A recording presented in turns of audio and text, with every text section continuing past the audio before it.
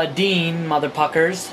Anyway, I just got home from my nightly trip to 7-Eleven to get my snacks with my dad.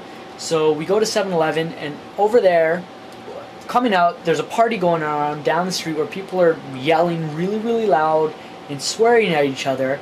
And then, you know, whatever, we go down to 7-Eleven, which is like a five-minute drive, less than that probably, and we get our snacks. And inside 7-Eleven, there's literally a bunch of crack addicts there. Not even kidding. Probably from the party that we're we were just uh, I was just talking about earlier.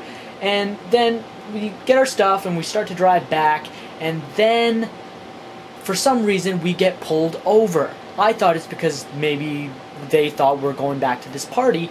Not the case. This fucking cop says that we turned on a red light apparently. So let me get this straight, cop. We got crack addicts at 7 Eleven and a party that's probably got underage drinking going on, and you're gonna pull over two guys are just getting snacks to go watch a fucking movie.